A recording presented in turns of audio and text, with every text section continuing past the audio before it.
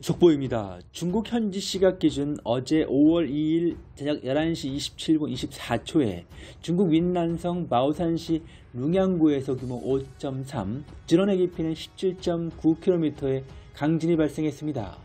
지진 발생 지역의 평균 해발 고도는 1863m로 진원은 마오산 시내에서 29km, 윈난성 성도 쿤밍시에서는 347km 각각 떨어져 있습니다. 지진 발생 후 약 11분 뒤 규모 4.6의 여진을 비롯해 모두 38차례의 크고 작은 여진이 발생했습니다. 이번 민난성 강진으로 주민 3만 8천 명이 대피했으며 지진 발생 직후 인력 600여 명과 차량 130대 등으로 구성된 구조대를 현지에 급파했고 현재 2,400여 명이 구조와 복구 작업을 진행하고 있습니다. 문제는 지진의 패턴입니다. 과거 중국 강진의 history를 살펴보면 중국은 윈난성에서의 지진을 시작으로 하여 중남부의 쓰촨성 그리고 신장과 시장 티베트와 칭하이, 깐수성으로 연결되는 중국의 전형적인 활단층대에서 강진이 연쇄 도미노로 발생하는 패턴이 많으며 그 증거가 바로 최근의 지진들이 신장, 시장, 티벳, 스촨성에서 지진들이 연속 발생하고 있는 불안한 시그널들인 것입니다. 윈난성 지진 발생 10시간 후인 오늘 오전 10시 1분 22초에 중국 수촨성 쯔공시 공진구에서 규모 3.7의 지진이 발생했으며 약 4시간 뒤인 오늘 오후 2시 4분 6초에 중국 산샤댐 이창 근처의 쓰촨성에서 규모 4.9, 진원의 깊이는 44.3km의 강진이 또 발생했습니다. 최근 4월 27일에도 쓰촨성 내장시 웨이안현에서 규모 3.5의 지진이 있었습니다.